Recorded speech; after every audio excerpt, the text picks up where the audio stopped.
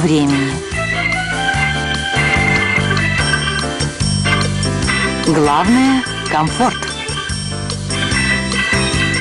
Большая или маленькая, функциональная или нет, семья за последние сто лет пришла к выводу – детям нужно больше свободы.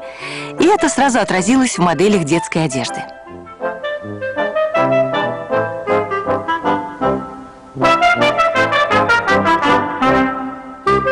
Конце XIX века маленькие девочки, а иногда даже мальчики, были скованы как физически, так и ментально. Так же, как и их матери, они были затянуты в корсеты.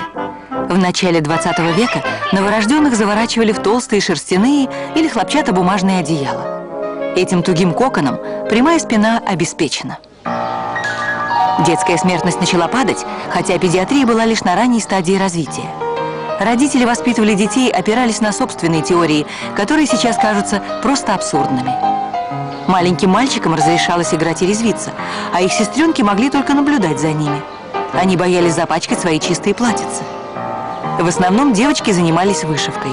Они тратили много времени, чтобы овладеть этим искусством.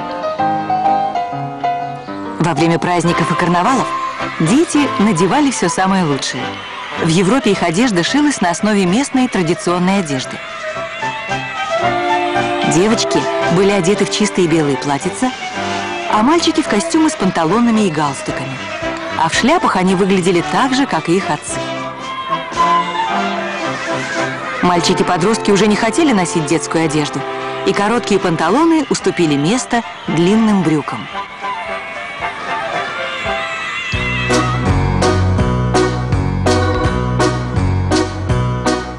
На всех фотографиях в семейных альбомах младенцы были голенькими, как херувимы. Начиная с 20-х, у младенцев уже было свое приданное. Еще в 1880 году Ада Беллен, редактор журнала «Бэби», предлагала для малышей мягкую шерстяную одежду. В входили также нижние рубашки, сшитые вручную, и вышитые нагруднички. И мальчики, и девочки были одеты в одинаковые белые платьица, похожие на те, которые надевали при крещении. Под платьицем у малыша всегда был подгузник. Это был просто квадратный кусок белого хлопка, сложенный треугольником.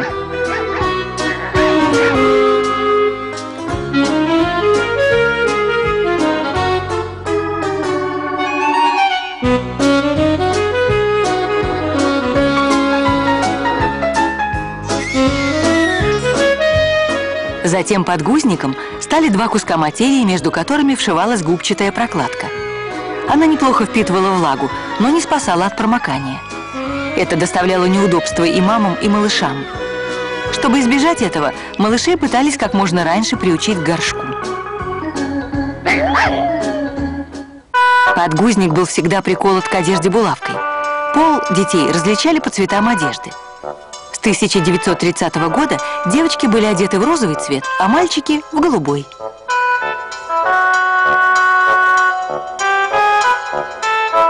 Самой утомительной работой для мам была стирка. Пеленки и подгузники кипятили в большом баке, а иногда отдавали в прачечную. До того, как в обиход вошли стиральные машины, детское белье доставляло много хлопот. Особенно, если у вас так много детей, как у миссис Дайон. У них уже было пятеро детей, до того, как в 1934 году у них родилось еще пятеро. Старшие дети семьи Дайон носили платьица от Ширли Темпл. Короткие панталоны или трусики, сшитые из тонкой ткани, пришли на смену коротким брючкам. Предназначенные маленьким детям, они с удовольствием были приняты их матерями, которые надевали их вместо длинных панталон. Малыши одевали в пастельные тона, символизирующие детскую чистоту и невинность.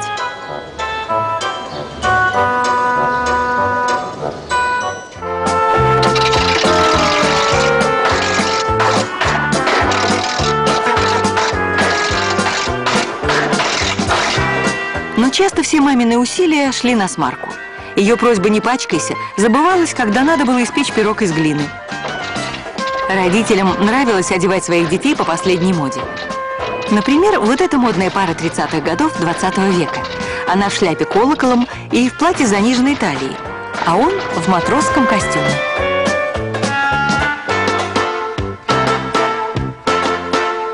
Необходимым предметом одежды для каждой юной леди была шапочка с заячьими ушками для прохладных весенних дней.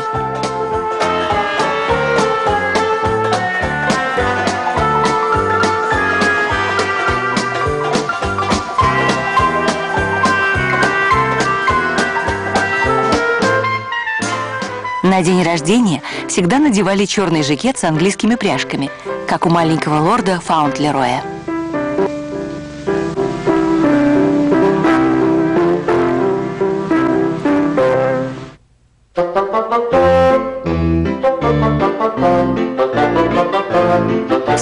Дети стали носить комбинезоны. Мамина просьба «не пачкайся» ушла в прошлое. Комбинезоны менялись чаще, потому что их было легче стирать.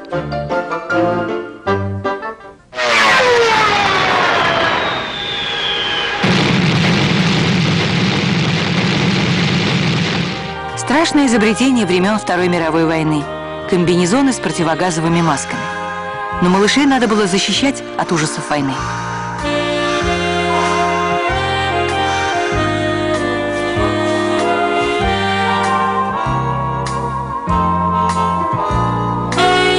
Время войны детской одежды не хватало. Приходилось переделывать старую. Из брюк, порванных на коленях, делали отличные шорты, которые донашивали младшие дети.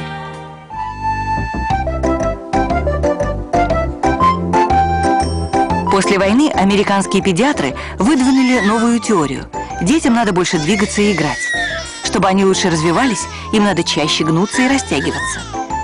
Специальные упражнения помогали малышам расти сильными и здоровыми.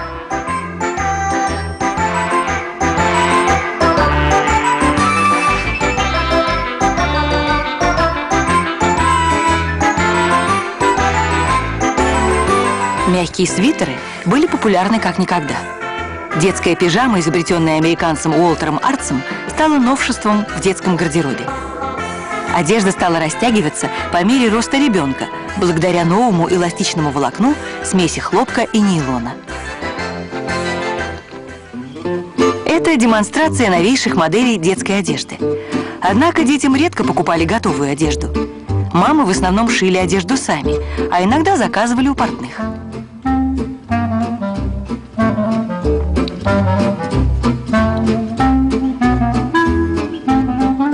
Маленькие девочки очень хотели быть похожими на своих мам. Матроска еще долго оставалась классическим костюмом для маленьких джентльменов.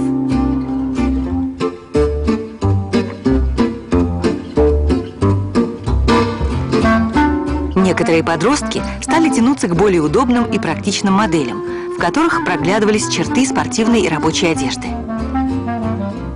Им очень хотелось быть привлекательными. Но большинство, однако, следовали взрослой моде конца 40-х, начала 50-х годов. Им не терпелось вырасти, чтобы одеваться, как их мамы и папы. Юноши носили то же, что и их отцы – костюмы с галстуками.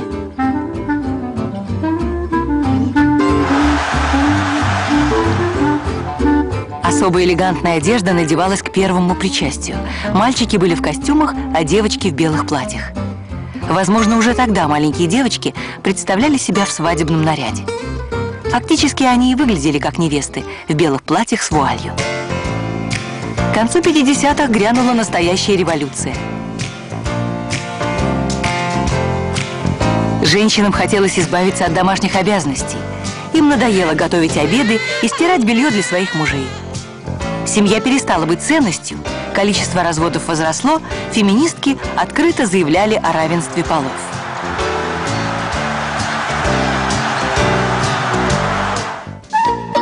Дети тоже получили свободу. Их одежда стала проще, удобнее, ее было легче менять, что было особенно важно для начинающих отцов.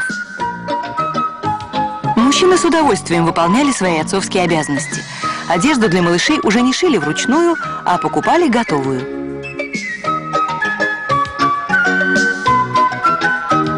Появились детские пижамы, которые стали самой удобной одеждой для малышей.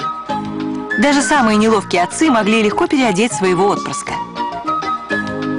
Появились новые материалы. Но зачастую удобство приносилось в жертву моде. Раньше девочки старались подражать своим мамам. Но грянули 60-е, и все изменилось. Женщину с радостью открыли для себя мини-юбки. Мамы с удовольствием использовали материалы, предназначенные для детской одежды. Теперь они меньше тратили времени на шитье и штопку, а больше отдыхали.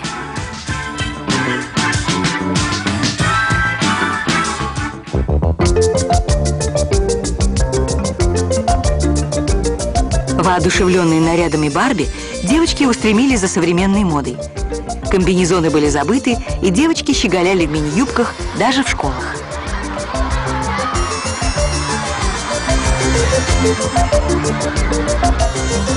Но пока девочки гонялись за модой, юноши хранили верность традиционной одежде. Благодаря стиральным машинкам стирка уже не составляла труда. Пресловутая фраза «не пачкайся» практически уже не имела смысла. Новое изобретение для малышей – пластиковые нагруднички. Их можно было не стирать, а просто вытереть. Пастельные тона сменились яркими, но не маркими красками.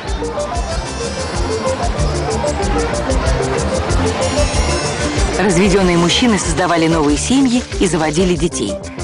Последнее нововведение – сменный подгузник – Теперь менять грязные подгузники стало легче, и детей начинали приучать к горшку тогда, когда они были к этому готовы. Неизменный свитер, связанный бабушкой, уже не передавался из поколения в поколение. Ребята носили джинсы и майки. Спортивная одежда стала их новой униформой. К ужасу матерей на детскую одежду приходилось тратить все больше и больше денег – Нудные замечания родителей отвергались. Дети больше не спорили с родителями, они их просто игнорировали. Производители одежды держали эту группу потребителей под контролем, чтобы точно определить, что будет модно в следующем сезоне. Простота и свобода определили сегодняшнюю моду, которая диктовалась поколением, выросшим в удобной одежде, которую не страшно было испачкать.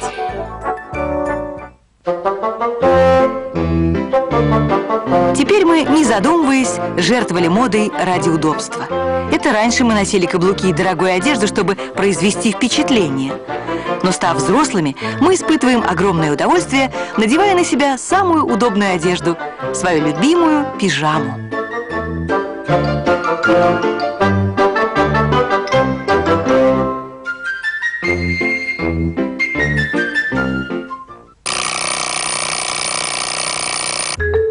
Каждую ночь мы проводим в стране грез примерно семь с половиной часов. Это значит, что в течение жизни мы спим 220 тысяч часов. Фактически треть жизни мы проводим во сне. И никто не знает, во что мы одеты, когда мы в постели. Давайте посмотрим, что люди надевали или не надевали на ночь за последние сто лет. Ночное белье всегда было щекотливым и тонким вопросом, но оно всегда было обязательным. Когда женщина входила в спальню, на ней было несколько слоев одежды, включая ночной корсет. Несмотря на то, что в семье было уже несколько детей, муж никогда не видел жену обнаженной. На рубеже 19 и 20 веков целомудренная женщина не смела открыть плечо или распустить волосы даже в постели. В приданные невесты входили не только простыни и наволочки, но и ночной халат преддверии брачной ночи на халате вышивалась пара переплетенных инициалов. Длинные ночные халаты были сделаны из плотной хлопчатобумажной ткани. Они были удобными и простыми. Прежде чем лечь спать, женщина заплетала волосы в косу. Холодными зимними ночами мужчины надевали колпаки. На рубеже 19 и 20 веков мужчины и женщины носили простые белые ночные рубашки. Вскоре их стали шить из тканей разных цветов.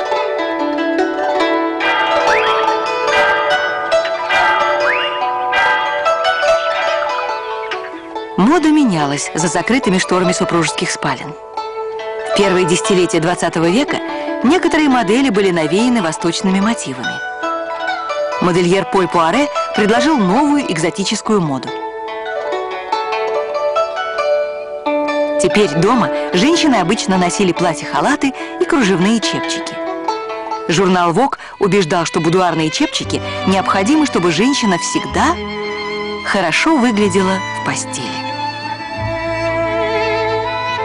В это время нижнее белье шили из тонкого полотна и украшали дорогими кружевами ручной работы. Слово «неглиже» французского происхождения. Оно означает «свободный», «небрежный». В начале 20 века женщина, одетая неглиже, лишь в чепчик и пеньюар, выглядела очень эротично.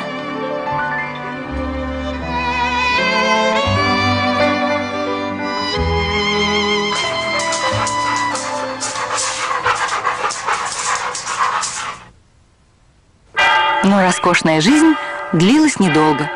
Первая мировая война принесла много лишений, и женщины очень тосковали по былой роскоши. Ночную одежду все еще вышивали, но дорогой шелк заменили на хлопок. Разноцветные ночные рубашки стали более короткими. Но стремление нравиться и очаровывать оставалось. Однако теперь белье стали шить из искусственного шелка или вискозы, и оно было отделано не тонкими дорогими кружевами, а просто тюлем. Чтобы расслабиться и покурить, мужчины носили дома халаты, которые предохраняли повседневную одежду от запаха табака.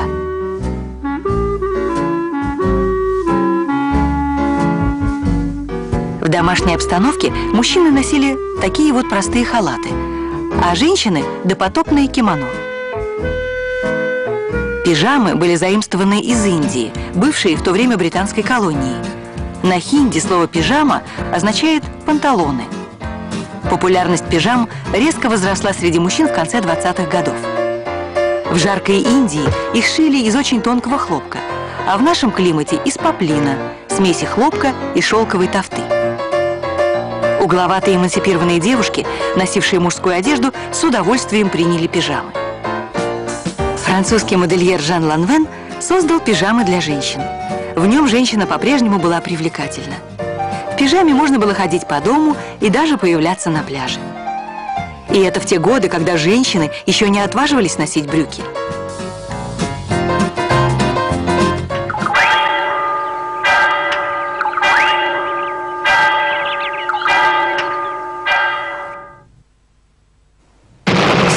1939 года в Европе началась Вторая мировая война.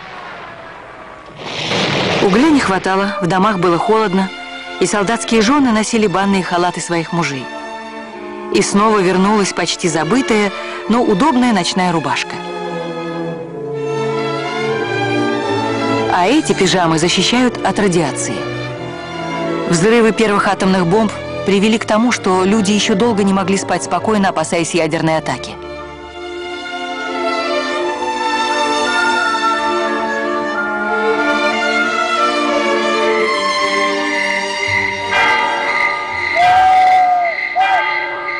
Но не все ученые работали на войну. Вскоре было изобретено замечательное синтетическое волокно. После войны маленькие девочки и их матери жаждали новых моделей ночной одежды. Уроженец штата Айова Уоллес Каратерс изобрел нейлон, и шикарная ночная одежда стала доступна каждой женщине.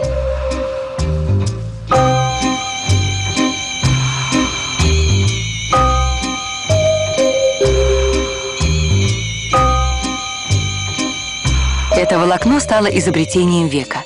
Оно было недорогим, легким и удобным. Роскошные нейлоновые халаты стали классикой 50-х годов.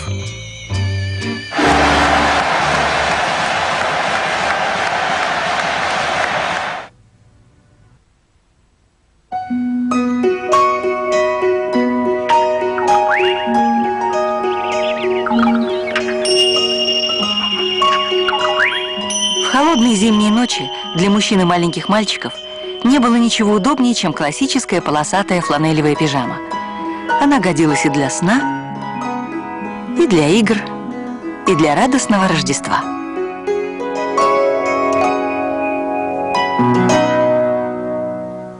Девочки тоже обожали носить пижамы. Их шили из джерси, хлопка или шерсти. В отличие от полосатых пижам для мальчиков, пижамы для девочек были более разнообразны по фасону и расцветкам.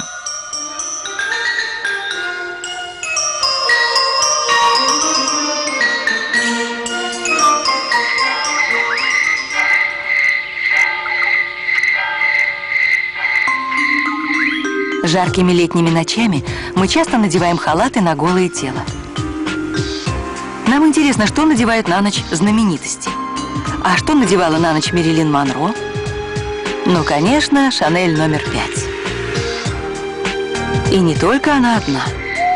К 1998 году 15% американцев заявили, что они спят совершенно голыми. В 50-х годах мы что-то надевали на себя на ночь, но обычно очень немного. Все больше подростков интересовалось одеждой, одеваемой на ночь. Такие звезды, как Сандра Ди, устраивали так называемые сонные вечеринки, где короткие ночные рубашки были униформой.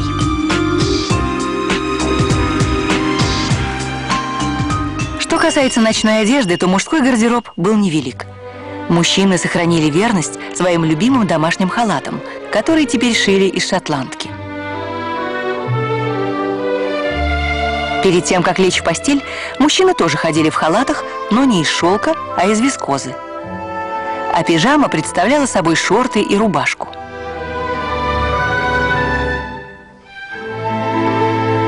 В отличие от мужчин, женщины упивались разнообразием ночной одежды. Теперь они могли выглядеть и как восточные танцовщицы, и как жены фермеров в цветастых халатах.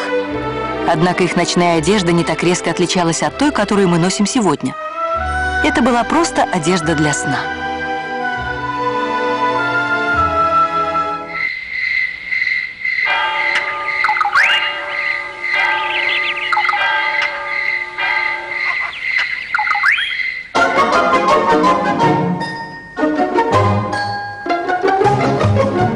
Вряд ли он наденет на ночь что-то новое. И в бурные 60-е мужчины ложились спать в своих любимых полосатых пижамах. Женские ночные рубашки стали проще. Они были немного присборены сверху, но их расцветки стали более яркими. Молодые девушки 60-х, носившие в основном шорты, спали в пижамах. Особенно модными были шорты в стиле капри. Их носили и днем, и ночью. В 60-е в моду вошел стиль ретро. Вновь вернулось шикарное белье начала века. Нейлон сочли неудобным и отвергли. В те годы в моду вошло все натуральное, и в частности натуральные материалы. Особенно приятный, мягкий, теплый хлопок. Нет ничего лучше, чем этот ансамбль, шитый из натуральной ткани и украшенный элегантной английской вышивкой.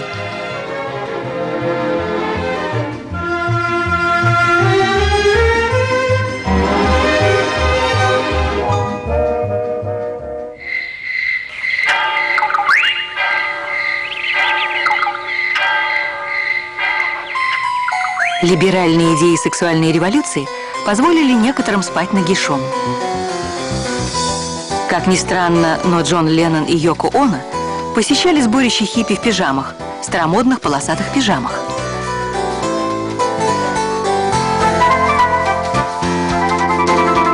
Под объемным халатом скрывается простая, но модная ночная рубашка –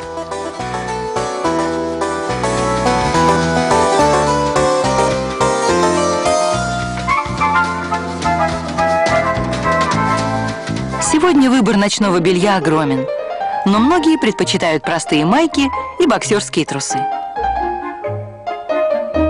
Кто бы мог подумать, что после 80 лет забвения, 80-е годы 20 века вновь станут модными мужские ночные рубашки ярких расцветок. Ковбойский стиль оказался недолговечным, слишком непрактичным. А полосатая пижама оказалась живучей, она снова и снова возвращается в разных расцветках и моделях. Снова вошел в моду элегантный мягкий ночной жакет из шерсти. В последние годы стали выпускать роскошное ночное белье в стиле секси, шитое из шелка нежных тонов.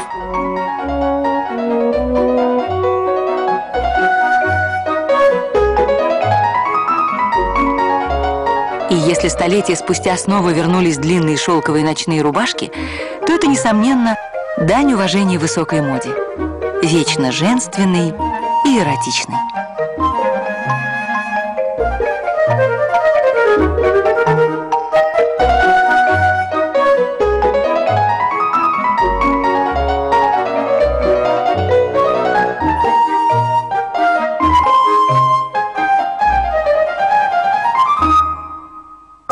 Авторы сценария и режиссеры Мария Ник Легуэрн и Ани Франс Мистраль. Продюсеры Николя Гельцхойзер и Лоран Мини. Фильм озвучен фирмой «СВ Дубль» по заказу ГТРК «Культура».